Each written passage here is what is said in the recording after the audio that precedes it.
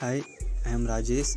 I have completed bachelor degree in automobile engineering from GKM College of Engineering Technology.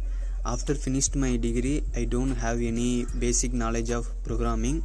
Then I joined QSpider, learn SQL and Java. Now I got a job. Thank you QSpiders.